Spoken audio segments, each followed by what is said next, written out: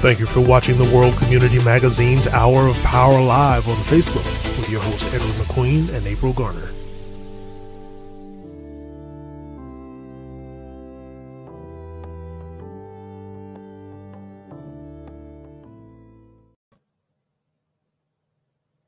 You're muted, Brother Edward. You're muted, Brother Edward. I'm muted. I'm not. I'm talking anymore. hard too. Just, just talking. Yeah, I'm just talking, man. You know why? Because I'm excited today. You're excited. But it's like a, it's like a first run movie. Uh, our young people in politics, you know, doesn't get any better than that. Okay, it doesn't. Like it first, doesn't. And somebody to back them up along with them. Ah, no. Iconic huh? leaders, young oh, leaders. Oh, uh, yes, yes. The future is bright. The future is bright. bright. Mm-hmm. Good evening, everybody. I'm your host, Ed McQueen, and of course, this April Garner, WCM Live as co-host. Um, always with her. so, um, yeah. So, uh, as I said, as I said before, it's like a first-run movie. April. We're showcasing some of our our, our, our youth that we've been uh, talking about for, for a long time. And now, you know, it's like a first run movie.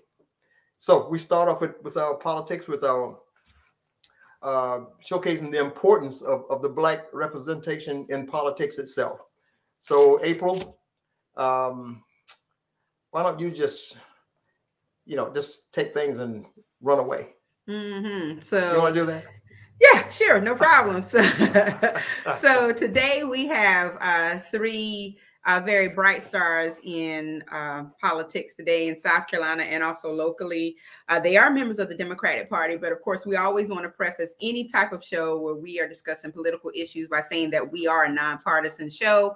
We welcome anyone who is willing to come on and talk about their platforms and their side uh, of politics so that we can have a, a a great understanding of how it works yes across the spectrum, across the spectrum. Um, and i think that that's what helps us to eliminate the misunderstandings and to close a lot of gaps. But we can't do it if we don't unite as a community. And so right. um, you know because it is black history month we want to uh, particularly focus on some uh, items and issues that impact the black community uh, black citizenship and Absolutely. you know all of the things that could very well um, kind of diminish our rights.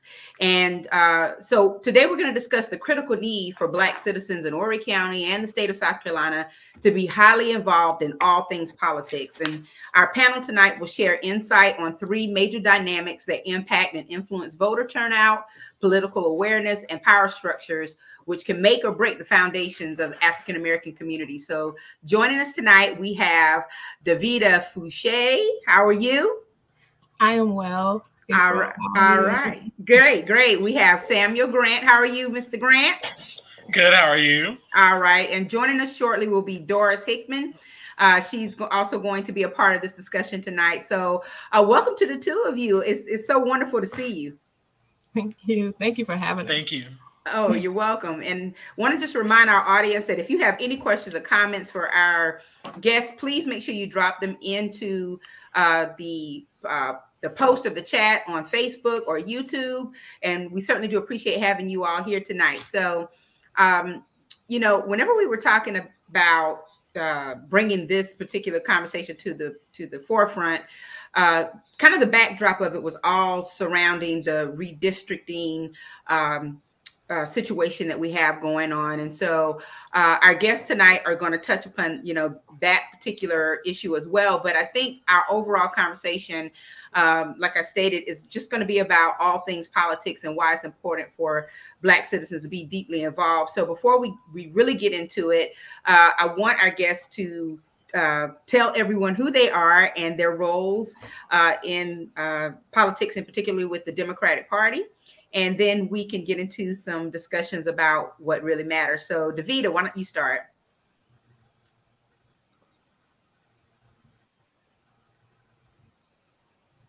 Davita? Uh, you're not muted. No, I'm not muted. Davita, can you hear me? Okay, why don't you start by introducing yourself? Yes. Okay. Um, I am Davita Foushee. I am the third vice chair for Horry County Democratic Party. I am also the first vice president for the Democratic Women's Council of Horry County, the Right. chair of the Grand Strands uh, Young Dems, the Grand Strand Young Dems, and I'm also a precinct chair. Uh, Brooksville 1 is my precinct. All right, All awesome. right. All Okay. right. And Mr. Grant. Yes, sir. Um, yes, ma'am. So I am Samuel Grant. I am the first vice president of Young Democrats of South Carolina, and I also serve as communications director for the South Carolina Democratic Party Labor and Progressive Caucus. All All right. right. All right. Brother Edward, you like that, don't you? Oh, yeah. yeah, yeah, yeah, yeah. he is so impressed by young people just doing wonderful things Just- like just this. doing those things. I, I actually missed one. I actually Mhm. missed one. Sam just reminded me. Um, I'm also the deputy outreach director for Young Dem- Young Democrats of South Carolina too. Okay. Right. Well, you guys are really busy, I'm telling you, and uh, it, it's a it's amazing that you have found the time in your young lives to really get involved in something that is so critical uh, to to our communities. And and I kind of want to start with that. You know, why did the two of you feel the need to get involved in politics? What was happening within your communities that made you take on that charge? Sam, would you like to go first? Um, sure. So um, I really got involved in politics over the course of the um, COVID 19 pandemic. And it's a funny story because I actually got um, inspired to get involved through TikTok. Um, I was just scrolling on my feed as usual, and I saw, um, I, for some reason, I started seeing a lot of political TikToks, like speeches on the um, Congress floor. And I just got really interested. And it's funny because I essentially um, was like, okay, where do I go from here? Like, how does this whole political system work? Yeah. So I had to basically teach myself everything that they fail to teach us in the school system because, like, Mhm. um, we're required to take a government class um, before we can graduate in uh, South Carolina in high school.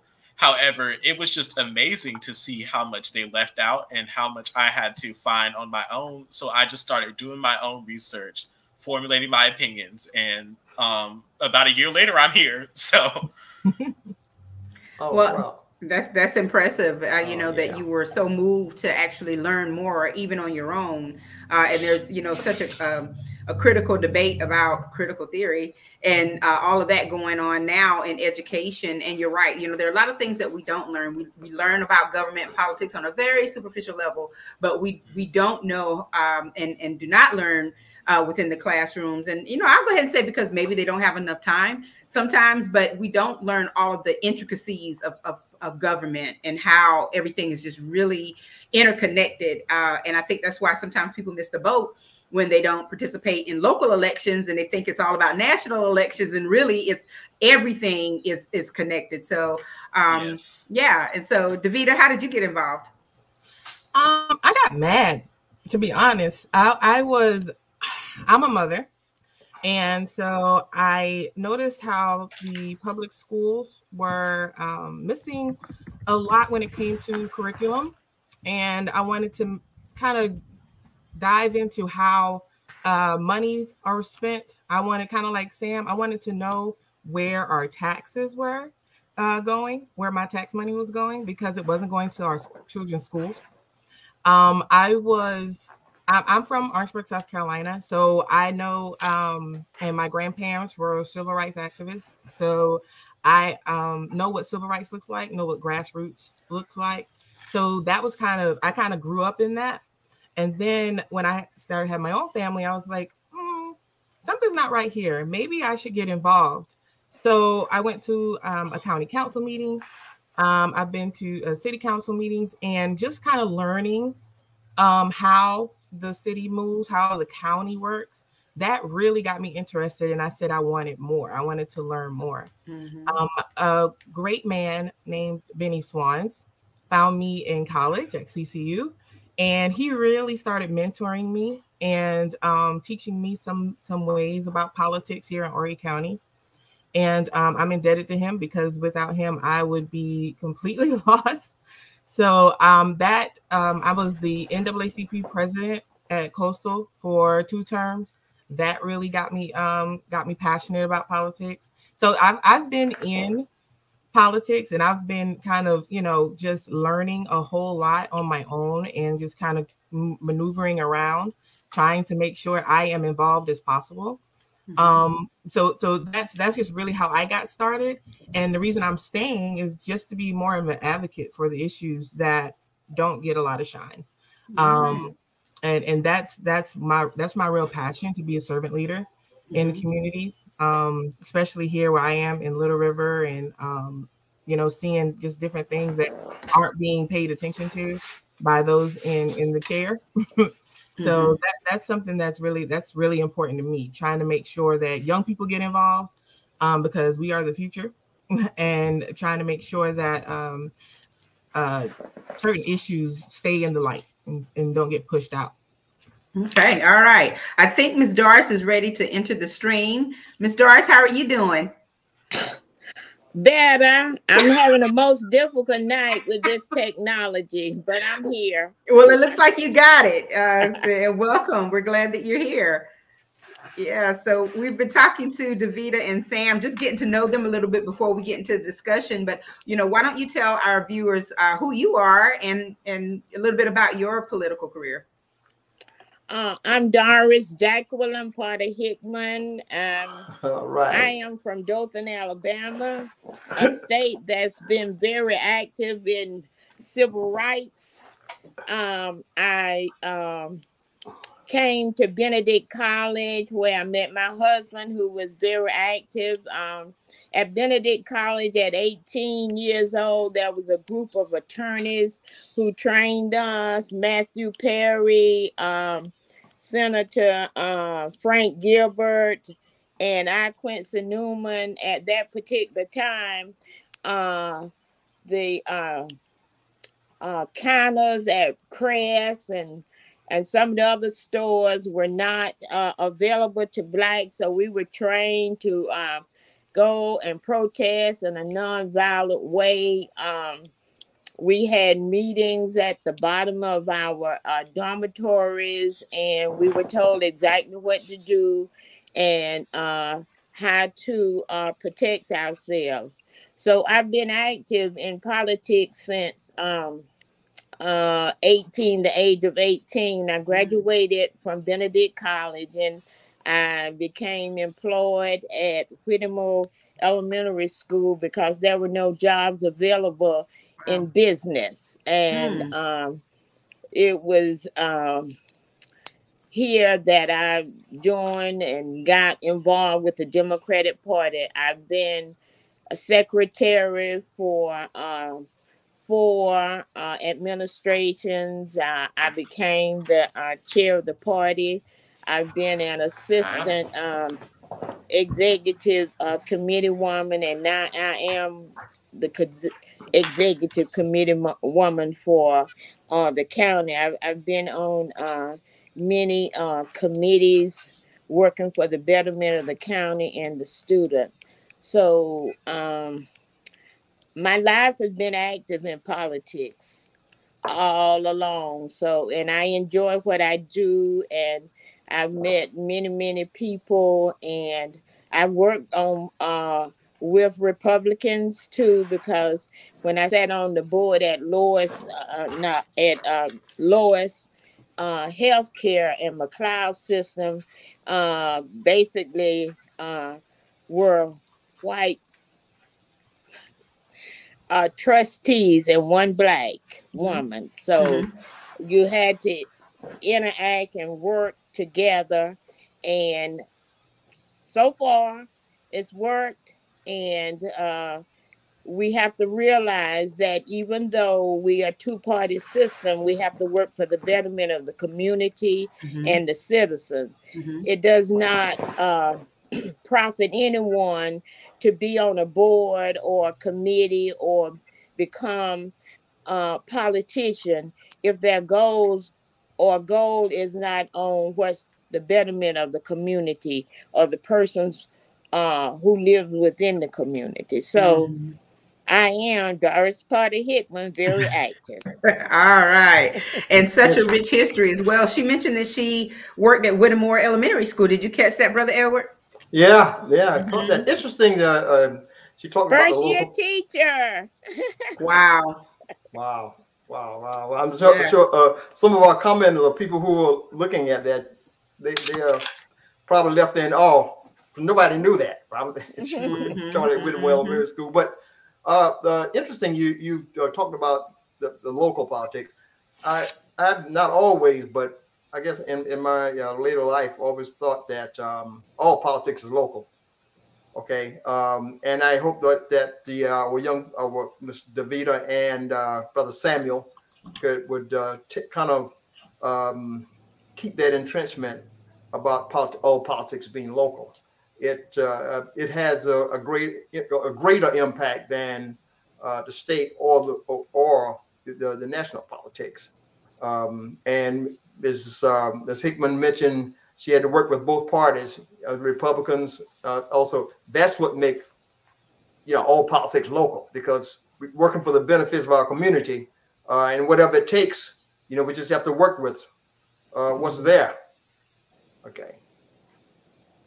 I just want to throw that in. Okay, well, thank you for throwing that in. But you're right, all politics is local, and uh, so let, us talk about, um, I guess, the local dynamics and um, how the local dynamics actually really set the stage for everything else that happens uh, along the way. And so, uh, one of the the points that we wanted to focus on tonight uh, is the education of the community. I think a lot of times people uh, tend to not get involved so much in politics because they don't understand politics. They, you know, or they think that politics are beyond anything that they can control or move or shape or, uh, you know, have any kind of bearing on. And, uh, you know, if you all had to explain to the community what politics really is all about and how they can be a part of it how how would you educate the community what would you let them know as far as just you know creating an awareness of politics and why it's important to be involved anyone I, I, I'll go. Um, April, first and foremost, I would let people know that politics affects pretty much everything in your daily life. Um, you have to get involved. You have to get in the know. Uh, like I said, one of the reasons I really wanted to get involved was because I saw a lack of education. So that's that's something that, and I can only speak for the Democratic Party. That's something that we need to get in our communities, in our neighborhoods, a whole lot more. Um, I just today I I was just reading through some some laws, some bills that were recently passed, and I saw that you know um, our uh, Congressman Rice just passed something about um, a new uh, infra- uh, introduced a bill about building infrastructure. And so I was wondering, I was like, hmm, I wonder where he got those funds from. So, you know, it's it's a lot of people don't know this stuff is happening. A lot of people didn't know about the um, the meetings that were um, held at HGTC when uh, the redistricting committee was coming together. So getting that information to to the uh, the citizens, getting it in people's neighborhoods, um, that is critical when it comes to especially the Black communities. That is critical when it comes to um, getting funding for our for our communities, getting um, what we need, our getting our issues solved. Uh, you have to be you have to be uh, connected um, to to you have to be involved to understand the information. So, for personally, I, I would want to see more of um, the party to to just kind of go to our communities, do things in our communities, make sure that we they understand and speak in plain language. Um, a lot of people um, messaging is is is really um, a tricky thing when it comes to the Democratic Party. We uh, our messaging is is is kind of uh, going over some people's heads. So mm. we want to try to make that um, plain language. We want to ask people, hey, did you you know did you get um, a, a stimulus check? Did you get you know hey, thank a Democrat. You know, are you getting um, better water? You know, how's your, how's your water system? You know, let us know these issues um, when we come to see you because we can t- we can try to do things to help that. Um, but that yes, we have to get back in our communities. We have to get back in our neighborhoods to educate and and and make sure that people are aware of what's going on locally and statewide. Mm-hmm. Absolutely. And um, I most definitely agree with um, Davita on these statements. It is really just a problem of, like I said in my introduction, education, because we're taught the very very basics in school. They don't get into the intricacies of how politics affects everything from the school that you go to to the hospitals that you can go to, the roads you mm. drive on. Um, people just don't understand that. And I just want to comment, especially on young people right now. Um, from what I have experienced in my high school and now being in college, it is definitely a growing sense of apathy towards politics. Mm. It's sort of become cool or um, it's becoming the norm not to be involved in politics or not to care about your elected mm-hmm. officials or what's going on. So it really all comes back to education. And when mm-hmm. speaking to the Black community specifically, I feel as though we just really need to educate Black voters on the power of their vote. Um, a statistic I saw today. So in 2020, the number of black eligible voters that were able to vote for the presidential election was oh, around 30 million.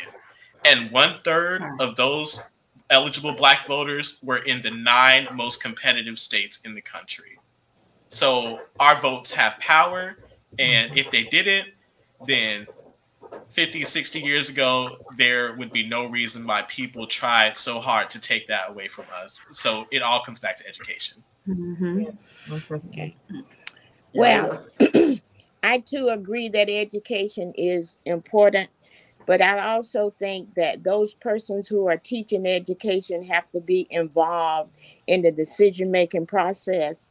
Um, in the past, I was a, um, a president of the Teachers um, Education Association, and at that time, uh, Senator Dick Elliott, uh, he trained us. Uh, he said when we were to go to uh, Columbia and to lobby for education, we should bring large numbers of, of teachers.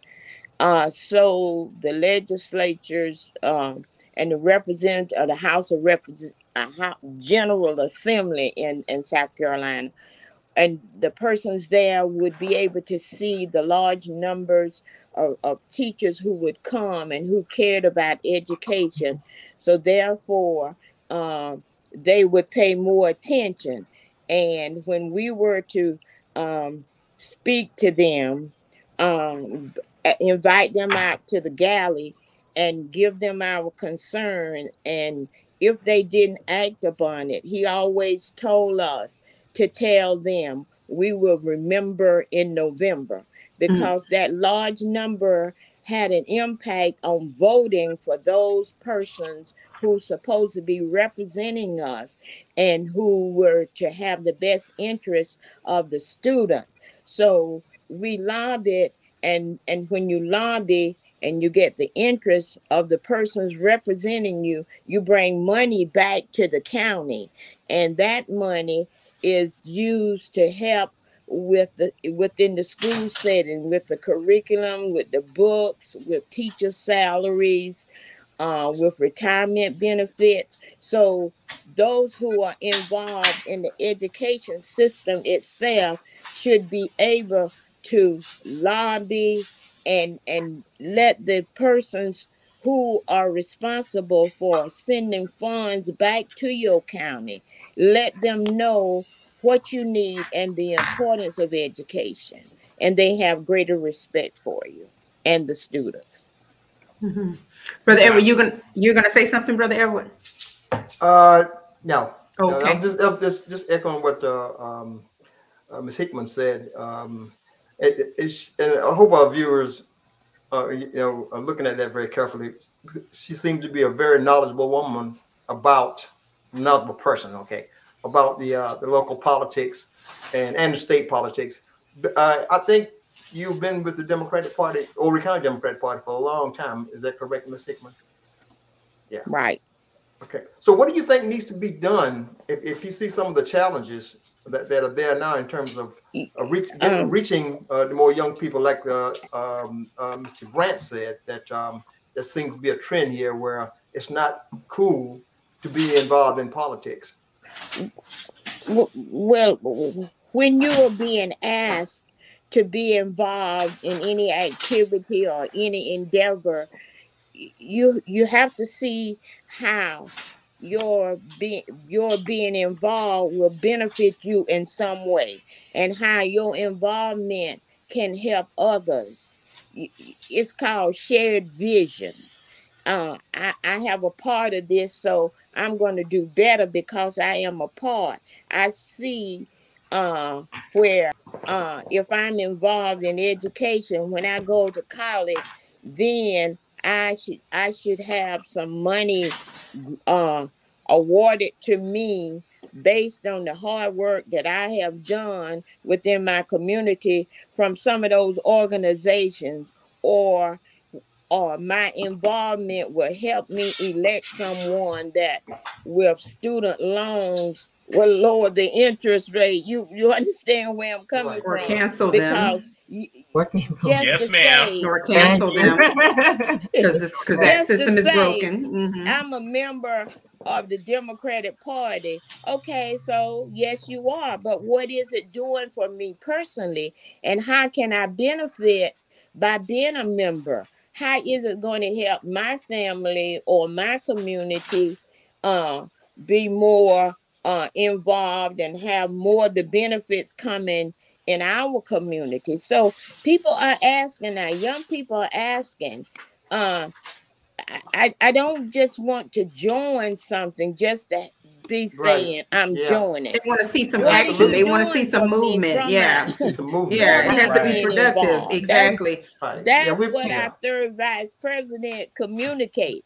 What are you doing for me? I do not see it. Hmm But you we have to make an impact and inroad into the mindset that being involved can make a difference in my life and in my family's life.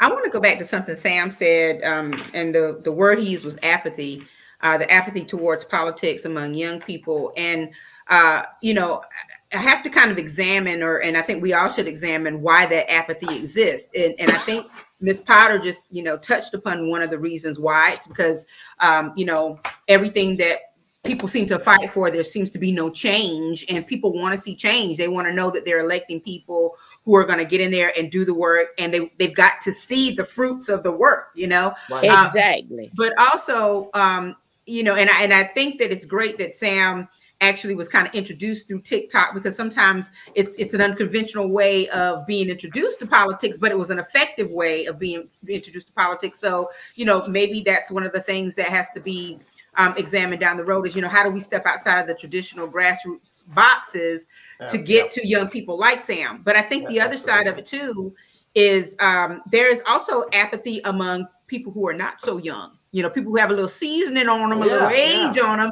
uh, because of the very same reason that Miss Hickman talked about. And um, you know, it's just been happening for so long, and they're like, you know what? There's no need to vote. There's no need to go to the polls. They're not going to do anything. They're not.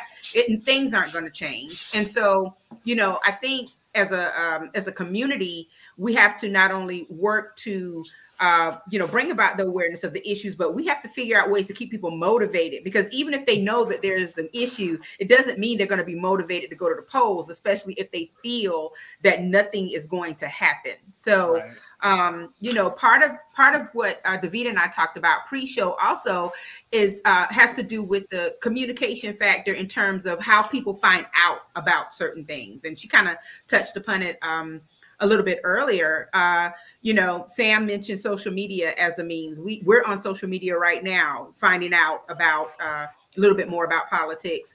But when it comes down to it, you know, do you think that there is a comprehensive and integrated enough strategy to really get the word out to people? I sometimes feel like the information is hidden or that it's, you know, it's it's a day late, a dollar short, meaning there's a meeting tomorrow and we're just finding out about it tonight. So, you know, what needs to happen in order to make sure that that, that the communication pipeline becomes more, uh, I, I guess, um, more valid and more relevant and, and and more timely so that we can get the information? What are some some things you all have thought about that need to be done within our communities to, to you know communicate these things besides the these things besides wcm live? What can, what can we do? What can we do? Um, one one thing I want to um, highlight is Yeah. the lack of messaging. Mm-hmm. If, if you have done something well and you continue to do it well, but nobody knows about it, then you are in error. So we have to have that opportunity, and we do to better messaging. Tell what your successes are. Let the people know what you have done, what what you will do, and go ahead and do it so they can see the. It's like the intangible versus the tangible. Right. Tangible, you will see. I have done this. We have provided scholarships for for students. We have built homes within the tell what it is that you have done. Show the results. Mm-hmm. Yes. Mm-hmm. Um, and and like uh, to credit to Mrs. Uh, Mrs. Hickman, right now the message is Democrats deliver. Uh, from DNC on down, that that's the that's the message. We delivered on the infrastructure bill, and um, you can see the changes that are being made. Um, for what April, you you actually said it. We have to integrate our communication. We have to make it more fluid. Um, I believe that if we can, in order to bridge the communication gaps, uh, the generational gaps, we have to be able to um, step outside, like you said, step outside of our comfort zone and say, okay, um, I know to reach the young people, we may need to move on to social media. However, let's not forget our our veterans of politics, mm-hmm. right? Mm-hmm. So um, if they're still looking for, uh, we, we, we can send out a newsletter. We can have uh, flyers put up uh, in their neighborhoods. We can um, make a few bullet points and make sure it gets to um, their. We can put things on people's, you know, uh, door door uh, hangers or something like that in their in their communities to make sure that they're getting the information that that we need. Um, to make it more timely, we have to be involved. We have to be on that forefront of when this information comes out. Mm-hmm. Somebody has to, like I said, uh, it was just the 10th that um, I saw that this new bill was introduced um, about infrastructure. So just to know that and then be able to put that message out, put it on several different platforms. Um, make sure it gets into the right hands. But give it to the media, give it to the newspapers, give it to um, a lot of the redistricting commi- uh, committee meetings. They were put in um, uh, different uh, several channels. They were on media, they were in the newspaper. Um, but if people don't know where to go look, mm-hmm. they miss it. Mm-hmm. So that's uh, that's something in the party where we can say, hey, make sure you look at this, okay? Make sure you you educate yourself on this so that you can be aware. Um, that that's that's pretty much and yeah, just I was just saying, those are the meetings were published. They are published. Mm-hmm. Um, so I, just to make sure that people know where to go, I think that's a charge to the party. Make sure people know where to go. Make sure mm-hmm. um, that we are, even if it is published, make sure that we get that information out. Um, you got to see something two, three, four, maybe 10 times to make sure it sticks sometimes. So just um, repeating the information, mm-hmm. that's fine. Making sure that people get it and it sticks with them. And then once they get the information, calling them to action telling mm-hmm. them, hey, this this meeting is happening. We want to see you there. If mm-hmm. something's going on in your county, in your um in your neighborhood, and you don't like it, come to this county meeting. Come to this city council meeting. Let them let your voice be heard. Mm-hmm. Um, that's the only way they're going to pay attention. pay attention to your issues. So yes, that that fluid communication, making mm-hmm. sure that we are going to the people, finding out what's going on, and letting them know what's going on, and then calling them to an action to see to make things change. Mm-hmm. Nothing yes. beats repeatability. Mm-hmm. Right. Nothing beats that. Mm-hmm. And something Davita just touched on, which I feel is going to be very important in our politics moving forward, is um, we just have to, as a political community, if we want to get our message out, then we have to get out of our comfort zone and we have to meet people where they are. Mm-hmm. A lot of times we think because we post something on social media or we attend a, um, let's say, a Democratic Party event. Well, when you post on social media like Twitter, that's only going to go to your followers and probably a handful of other people in those same political circles when you attend a meeting for a specific party, that is only your party and party members that are there. But where what I fail to see is a lot of times we don't go out into the community. We don't go to community centers. We don't go to um, just the places where everybody are at, where mm-hmm. the constituents are at.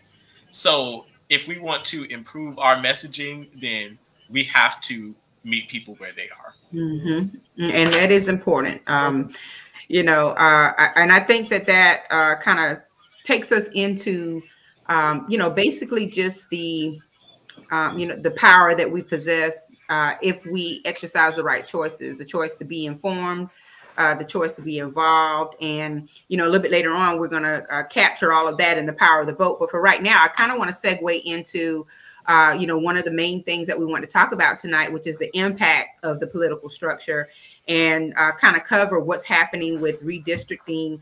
Um, and as local and state representatives here tonight, uh, you definitely can tell us a little bit more about what's going on. There was a, a question in the thread.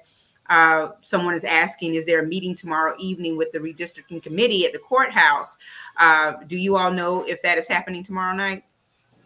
And if there's anyone who's watching, uh, you can drop it into the comments uh, to answer this question. But uh, if you had to kind of uh, summarize redistricting for people who are watching who've heard the term but aren't quite sure what it means how would you summarize it? And then i want sam to kind of take us into what's really happening. And uh, you know of course ms doris and davita can can chime in as well. But uh, you know tell us what is redistricting all about yeah, so um, redistricting happens every 10 years and it is based off of the information given from the census. And that's the first thing I want to hit. It is so critical that we fill out the census. The census is not just a piece of paper that you can ignore, that you can throw away. It is absolutely important because it gives the federal government an accurate representation of the number of people in a certain area in the state, the demographics that make up a certain population of a state. So ultimately, when we are looking at things such as federal funding and where those federal dollars go in our state, that is all based off of the census. So um, if I live in a neighborhood, in a particular neighborhood in South Carolina, and let's just say I'm not filling out the census, then we I am essentially unaccounted for. I am a person in that community that's unaccounted for. So when we're looking at where to send money for schools, for hospitals, um, for just uh, necessities and things such as that, well, since I didn't fill out the census, then okay, that's a dollar that could have gone here that is now going to another county, that's now going to another city because I didn't fill out the census. So that is why it is important that we fill out that census every 10 years.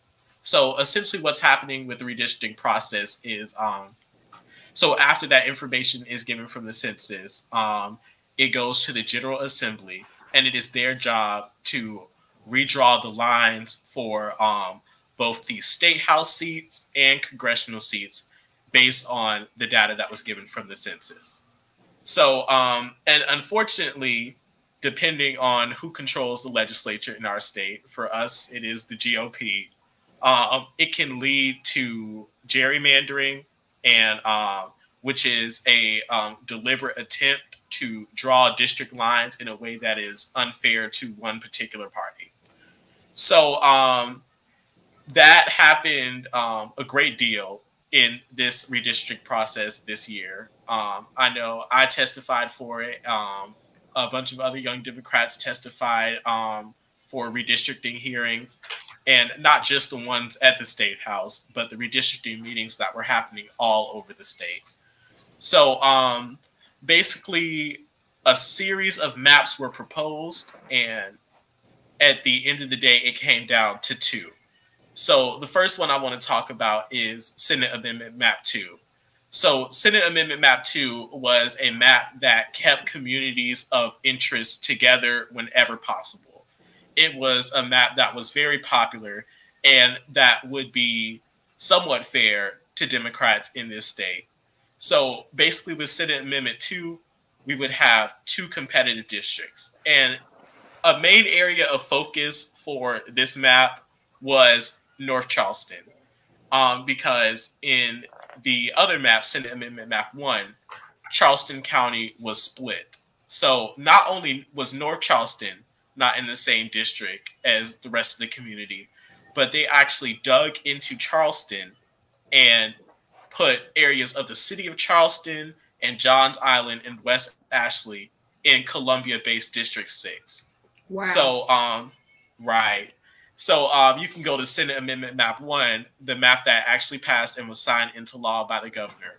So essentially, in this map, both North Charleston and parts of the city of Charleston are in Columbia based District 6. So USC and College of Charleston are now in the same district, oh, despite wow. being right, despite being a hundred miles apart.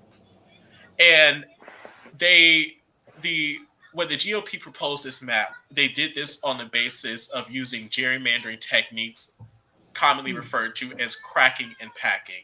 So they are splitting up parts of a district and packing those voters into another district. And what I want to highlight, particularly with North Charleston, was the fact that um, they were taking predominantly black communities in North Charleston and putting them out of District 1 and predominantly black areas of the Charleston community as a whole and putting them out of District 1. So that way it reduces the competitiveness. So when Senate Amendment Map 1 passed, there is there are virtually zero competitive districts in South in South Carolina. So there are six that are essentially safe for GOP and only one that is safe for mm-hmm. Democrats, and that's District Six. Because as you can see, District Six is the largest district, the district that covers the most landmass on this map. And it's Jim Clyburn's district. Right. But what, what, but what about the population? You said landmass, but what about the population? Do you have any figures uh, for that? And I don't know the serious impact of the gerrymandering, uh, the way this map shows it. But are we talking about a huge population in uh, District Six? Black population, anyway. Yes. So essentially, um, what they did in creating this map was um, they put a they, they basically took a bunch of um, black communities with predominantly black voters and all and pack and tried to pack them into District 6 mm-hmm. So mm-hmm. taking black voters away from let's say District One um, would virtually like limit these districts uncompetitive mm-hmm. and um, basically guarantee a GOP win. Wow. So yeah, and and it's it's amazing how this is allowed to happen. I can't believe like in right now this is allowed to happen. This is, but um, and the numbers I think the magic the magic number for each district is about seven hundred and thirty one uh, thousand and two hundred and three people. So if they can get that magic number by like what Sam said, cracking and packing, um, that, that that's that's what they did. Um, and that's and again to reiterate, that's why it's so important for people to fill out the census um, because we what happens is that we become undercounted in our communities, and that leads into being underrepresented. Hence, right now we have one competitive district. One competitive district, district and, six. And and that further goes into being underfunded. So because your representation is low. So now people who, you know, you didn't vote in the people who are invested in your interests and in our community's interests. So now who are you going to go to? Just you're going to write to Jim Clyburn in District Seven? You know what? What? he's over District Six. You know, so it's mm-hmm. it's so important that we do our part when when it comes to sense with filling out the census, when it comes to going to these meetings and speaking up in these hearings and testifying, like uh, several of the young Dems did um, down in Charleston, voting are um, making sure people are running who are invested in our interests, um, and and and actually electing them. So yeah, and so things like this that will not happen again in next that, There's a lawsuit in District One um, by the NAACP, and you know, in Columbia alone, they gained 500,000 people over the last decade. Mm-hmm. 500,000 in Columbia. and see the the the six is is is has increased, but when you were going to um Interstate 95, the in the increase wasn't there. That's Clyburn's six is Clyburn's um, district, Mm-hmm. and it's it's it's a, a big lawsuit going on in one right at, as we speak. Hopefully more. Yes, and I actually want to highlight um, um, the lawsuits. Um, so basically, in the state of South Carolina, both um, the NAACP and the ACLU have um, both filed lawsuits against this map. And um, in terms of our options, or um, basically how this moves forward from here, I actually want to turn um, our attention briefly to North Carolina because North Carolina just had a very similar situation with a um, GOP favored gerrymandered map. So, just this past week um, in North Carolina, the state Supreme Court um, overruled their gerrymandered map. So, two things will happen for them. Their state legislator is going to be given a second chance to redraw the map. However, the court can choose to go with the map that they redraw Mhm. they can choose a um uh, a map of one of the protesters that um, they propose that would be a more fair map, or they can bring in an outside expert to draw the map um, in a fair basis that's nonpartisan. So um, it would not be a stretch to say that the same thing could happen for us in South Carolina with these lawsuits. But what is going to be most important in making sure that we get our gerrymandered maps overturned is that we have got to get people educated on redistricting. We have got to um, get the community more aware of how this actually affects them and the tangible results that are going to come from this. And we just have to build public pressure and momentum to essentially let our legislatures know that what they did is not all right. It's not okay by any means. And that their constituents are not pawns on a political chessboard. Hmm. Brother Edward, this is some compelling information. I mean, Very compelling. you know, we, we're, we're sitting in the comforts of our homes, not knowing that all of this is happening. Um, and I don't even want to call it behind the scenes; it's almost in your face. Almost. And um, you know, and a lot of it could have been circumvented with more movement at the polls. But you know, as I think about like that map that the the map that was, um, I guess, approved, and the fact that you have seven is it seven districts and there's only one, as you say, that um, you know really is representative of um, our people. It it makes me wonder. Um, how it is that we can move the needle on that you know do do we have the political power and influence and also motivation to flip that. Because you know i don't know that we have the political motivation because we really don't see enough of us in political races. Um, i don't know that we have the political influence because to be honest we don't know. You can't look at us and say she's a democrat he's a democrat you know if that's what it's all about. So you know how how how can that change? How you know what actually can be done to make sure that you know this type of thing the momentum of this type of thing slows down or that it it changes at some point because if it was that easy to make it happen uh who's to say that you know the next time around there won't even be a, room for debate it, it may just be something that's like you know this is this is how it is and you know so so how do we combat that Well, That's the A- question. April, I'll tell you a good start. Uh, um, I know you asked them the question. A good start is our panel tonight. Okay, we have two energetic uh, young people. Okay, and I hope our viewers are taking note of that and appreciating uh, what these uh, uh, Samuel and uh, uh, have to offer.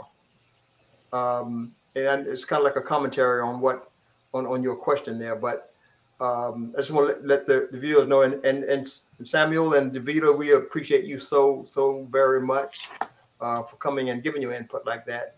and of course uh, Ms. Hickman. But, but getting back to April again, uh, we um, I think they're they're providing a good start. That to me, that's my impression of that. Yeah, I mean, it's obviously Yeah. a good start, but Yeah. you know, we're coming up on an election year really soon, and But- so you know, I, I'm glad that they are are getting out there.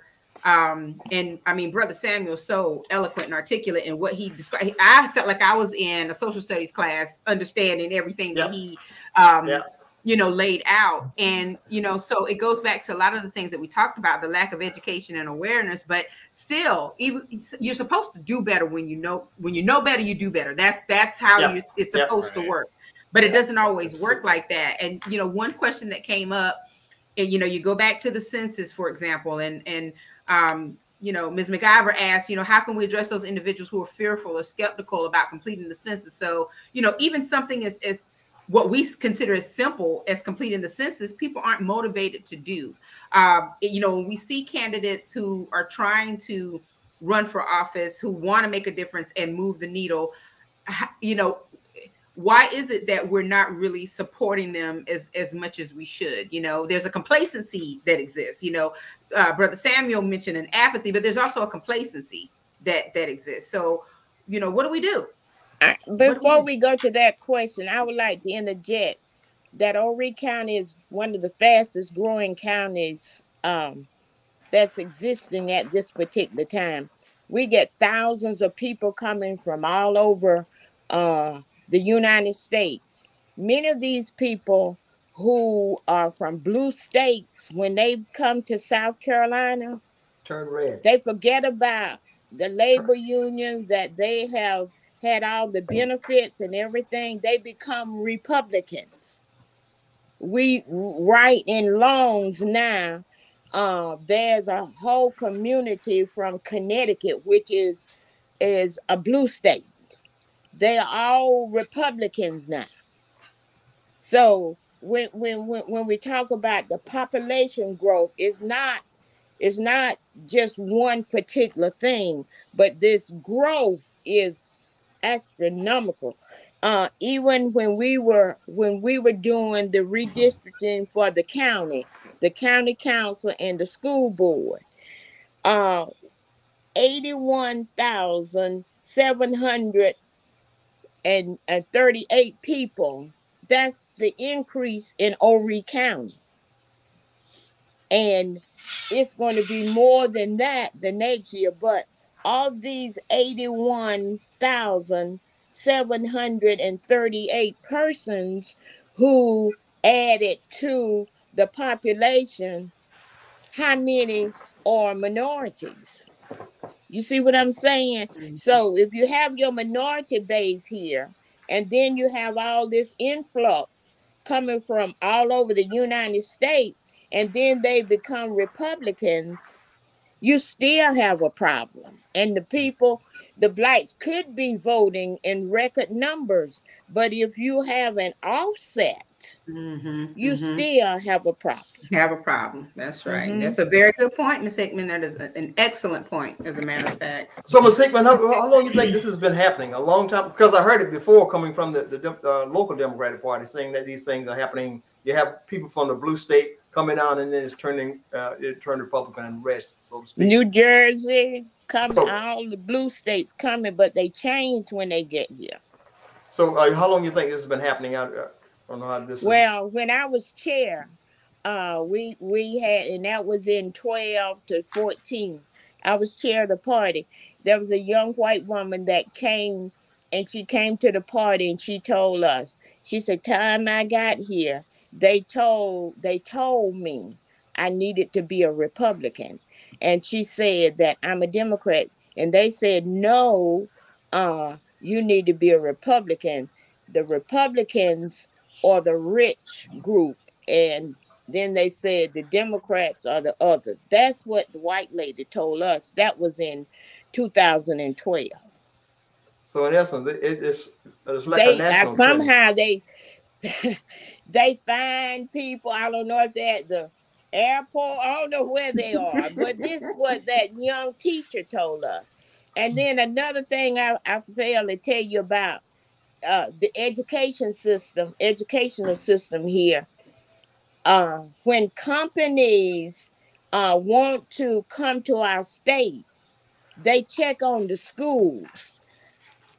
Are our schools, excuse me, are our school, do we have good schools here? Uh, what kind of communities here? So education falls right in line with all of this influx and increase that's coming to our county. Um, April, if I can just touch Yeah. on Mhm. of okay. Um, I definitely have I'm in several different or, uh, organizations Excuse and me, I've please. definitely seen the when people come from um upstate come down here and they switch. So I know several people who were Democrats, but when they decided to run, they decided to run as Republican. And it was just like Ms. Doris said, they here have the power, the money. They are the ones that are winning. And they see people who run as Democrats and they don't they don't win. So then now the the the feeling is that we can't win. So Mhm. That is a that's detrimental to us finding new candidates. Mhm. um it- you probably know every every other week you're hearing you know especially with hcdp we're asking hey we need people to run. We need people to run. We need people to run. Um we can give you the training. We can let you know. Um they have to believe people we have to make people believe and motivate people that we are behind them. We will support them. When they go to run we will train them educate empower them so that they are confident enough to go ahead and run and serve. Um we have to be strategic. We have to start now. We, like you said april we know there's an election coming. We knew in 2020 there was an election coming. Mhm. we, Mhm. we knew uh, you know back then and we should have been trying to prep somebody. There should be a democratic nominee right now running against tom rice. Right? But we don't have anybody. Well we have we have somebody but we should have more people running. We should definitely have more people running. Um there we shouldn't have to be pinching right now trying to find more people. There's several different seats opening on um that are coming open when when filing starts on march 16th and and a lot of people are you know really looking at the governor race. That's a popular one. Everybody's looking at the senate. Everybody's looking at um the congress. But there's there's a down ballot. There's local positions opening county seats are opening um city positions are opening. We have to like you guys said in the very beginning politics is local. Once you start and make change in your local situation you can you can move up that up that ballot. Um and that and that's something that we really need to to to push to our communities that lo- local politics starts here it, it definitely starts here um i wanted to talk about um well i believe it was miss mciver who um was talking about motivating people just to fill out the census Mhm. it's about education. It, I mean, me personally, I don't mind. I will walk, go to someone's house and say, "Hey, do you need help filling this out? I can help you." Um, but going into, like I said earlier, going into our communities and saying, "It's this is what this will do for you. This will help your schools. This will help your hospitals. This will help the roads, those potholes. This will help your infrastructure, helping to get Wi-Fi to rural areas." that is what people need to know so they become empowered. They they're not skeptical. They're not afraid. Just edu- just education just letting them know what will happen if you decide to go ahead and get involved and and find people who are also passionate because they're passionate people about in politics in our area.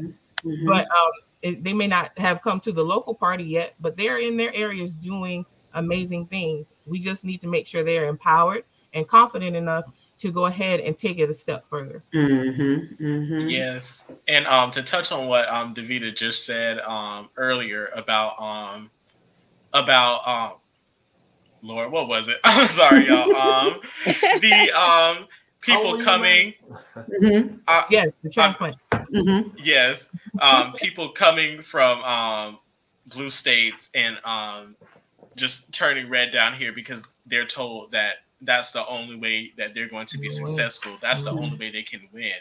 And a big part of our problem is going to be fighting that rhetoric That because propaganda. Mhm. that propaganda because a lot of politics is rooted in tradition. we have people in our state that are voting red because their parents voted red and their grandparents mm-hmm. voted red. And if you actually take the time and explain to them, I can guarantee a hundred percent that they are not going to agree with everything or with all of the GOP values. I mean, especially in this modern society when bills are being proposed and there are and you know values are a question of everyday debate you are not going to agree with one particular party's practices 100%. Mm-hmm. and like davita said it all comes down to being strategic. I feel like a lot of our problem is it's like we treat every single election like this election is the most important election ever. Right. and it's like we need to build um, we need to build strategic plans that encompass years. Okay, what are we going to do in 2022, 2024, 26? What a lot of people do not realize how Stacey Abrams pulled off probably the greatest political victory of our time in Georgia. Mm-hmm. How um, she flipped the state blue for Biden and got two Democratic senators elected. That yeah. was a 10 year strategy. Right. So this can't just happen at the drop of a dime. Mm-hmm. We have to mm-hmm. develop that strategy. We have to develop our messaging. We have to target people, target those swing voters, target those voters who are just voting red because their great great great grandmama and great great granddaddy voted red. And mm-hmm. we have to fight that rhetoric. And that is how we are going to build a culture of success to where one day it doesn't have to be a GOP controlled legislature just because this is South Carolina. One wow. thing also you you we need to form coalitions. There there are union workers here, there are senior citizens, um, there are Asians. We have to form uh, they're Hispanics not just black people everything everything is on black the, the the weight of the election is always on the shoulders of the black but we have other um uh groups that we need to nurture and invite in uh because it's very important when when raises come it, they do not just come to black people. Every benefit uh, goes to every person within your community, and and each time the um, voting or strategies for election come up, it's always the weight with the blacks ought to do this, the black, but there are other people we need to bring in. We our even in the Loris area, we have so many Hispanics mm-hmm. in here. Mm-hmm and and and they need to be a part of of our uh, coalition. Then you have the retired veterans. Then you have a union group. All of those. When when you say blue blue states, that's the composition. Bringing people together. That's the umbrella that you bring the groups together and you produce a united front and your voting capacity and numbers increase. But just saying blacks, we need Hispanic is one of the fastest growing groups in America. Now the Asians have realized that they aren't uh, in a group by themselves. Mm-hmm. When you when you talked about Stacy, Stacy had Hispanics working with her. She had different groups. She went to South Georgia, where those farm big farmers are. I know about that because when you go into Alabama, you go through South, all of that area. Big area, big farmers. Some farms are almost as large as as as Loris, with the big, huge, huge tractors. But coalition building and unification will build a stronger electorate. We we really have to get to them. Mm-hmm, mm-hmm. And oh, okay. how is the question? Come on, Davita. how is the question? Mm-hmm. So, so I'll, I'll, I'll just add to that. Uh, I'll, I'll comment on that. Um, I, I think the challenge would be in order to engage all of all the other elements, you know, like the Asian and the Hispanics. We, uh, you all, well, one has to make sure that the platform is appealing to them. Okay, and I don't know if we've met that even across the nation, um, because in some some states we have Hispanics uh, looking at Republicans now. Yes. Okay, Mhm. and uh, and that same thing could happen right there in Loris. You said there were a lot of Hispanics in, in Loris, but if we don't make the platform appealing to them, you know, they're going to vote their pocketbooks. They're going to vote their benefits, okay, that or, or what they think should be coming to them. So I don't know how great the challenge is, but seemingly uh, the challenging the challenge is is uh, significant in order to get them to, be attracted to to the platform. Uh, uh, you know, and the other question is, uh, uh, are you are there sacrifices involved that everyone is willing to make as compromise to compromise to make sure that um, the Hispanic, for example, will be receiving or it's attractive to them.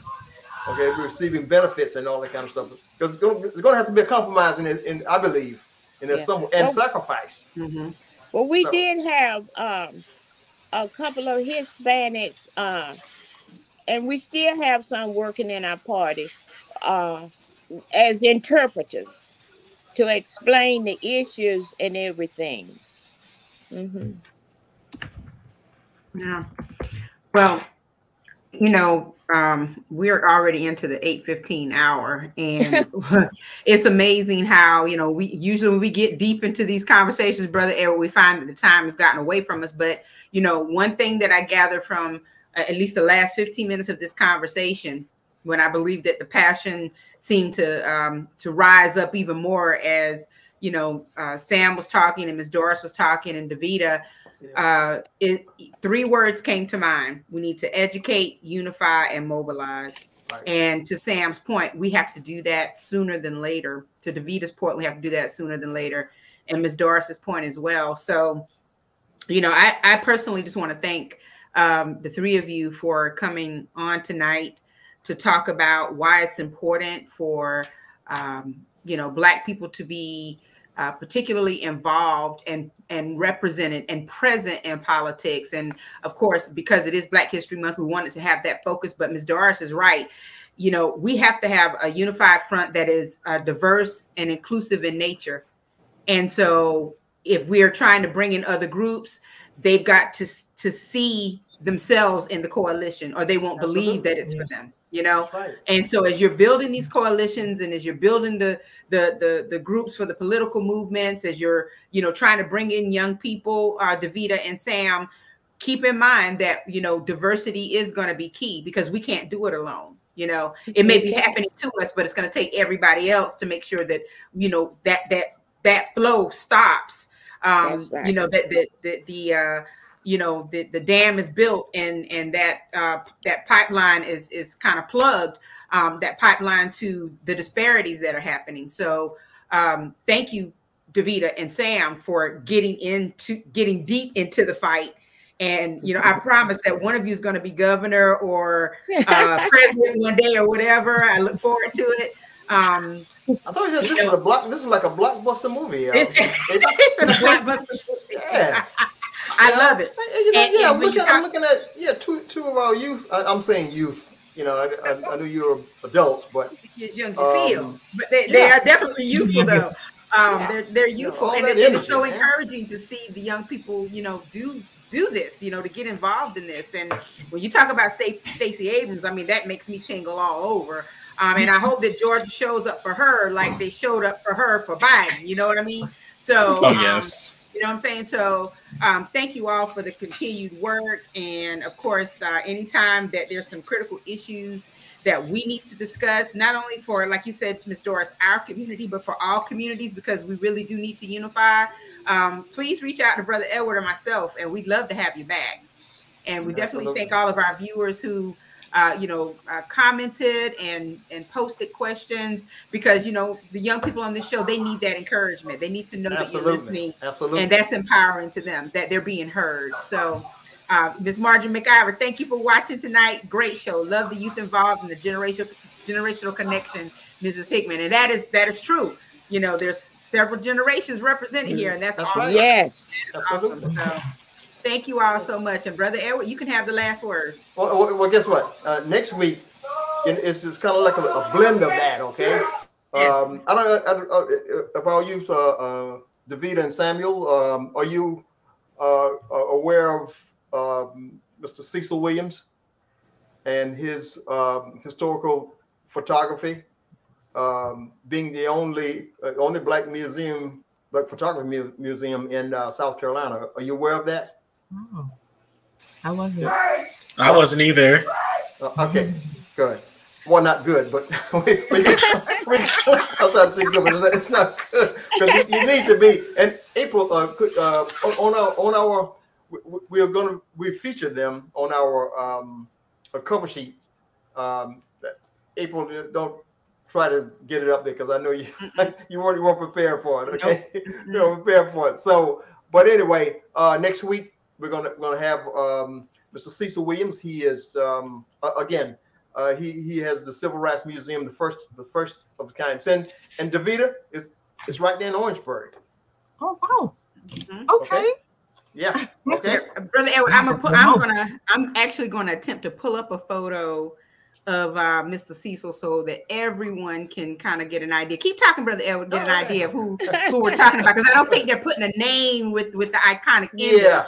Yeah. Yeah, Yeah. so- right. yeah. Right. So go ahead. Uh, yeah. but but go ahead. uh, uh, Cecil Williams uh, uh, again, and and it's a. Um, uh, by the way, he's just got a gr- not. Uh, I think he just got a grant uh, from uh, a a huge entity. Oh, I know. Okay.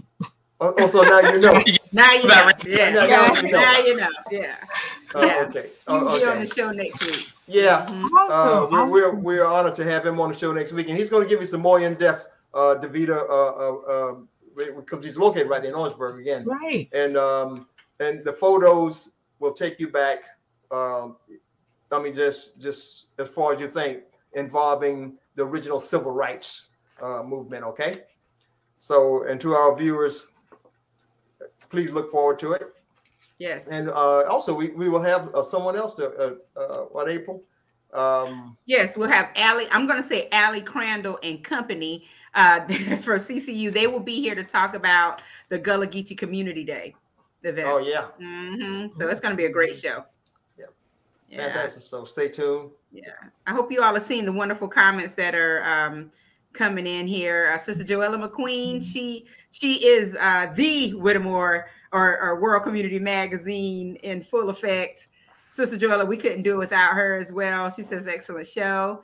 And then Cedric Blaine Spain, he's been watching the entire show. Uh, he says he thoroughly enjoyed the show and each of your presentations, and they did a marvelous job. I could listen to Brother Samuel all day, and Davita, you already know how I feel about you. So um, yeah, it's just it's very encouraging. The, the future looks really good for our It looks really, it really looks good. This Yeah. is today. Like I said, I'm telling you, the, blockbuster April. I'm telling you, Mhm. blockbuster movie. Yeah. well, all right, everybody. Yeah. Well, thank you all so much. And again, you're welcome back anytime. And thank you to all of our viewers. Again, we'll be here next week, same time, uh, same day, Tuesday at 7 p.m. We'll have uh, Mr. Cecil Williams and also Allie Crandall and company with CCU to talk about the Gullah Geechee Community Day event. Uh, as we round out, can you believe it, Brother Edward? Uh, next week is the last week of uh, Black History Month. I tell you, Please don't. it's just the last it's the last week of black history month but we Yeah. black history 365 so yeah, you know yeah, yeah. Amen. it's all good That's right. That's Um, 365. but yeah please join us spread the word share this this broadcast it's, it's on our facebook page you can definitely share it to your pages and it's also on youtube as well as wcmagazine.net so thank you everyone for joining us tonight we really do appreciate it Thank you for having us. oh you're, you're, Thank welcome. you. you're so welcome. you're absolutely welcome You, okay you will be back. You will be back. Is that Yes, correct? yes, At some they will be back. They will be back. All right, everybody, take care and have a great week. Same to you. All right. Thank you for watching the World Community Magazine's Hour of Power Live on Facebook with your host Edward McQueen and April Garner.